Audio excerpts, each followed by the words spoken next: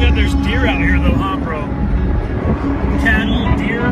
We gotta see some cows, man. Come on. Look at that little ridge right there, dude. Crossing a cattle guard right now. That's it.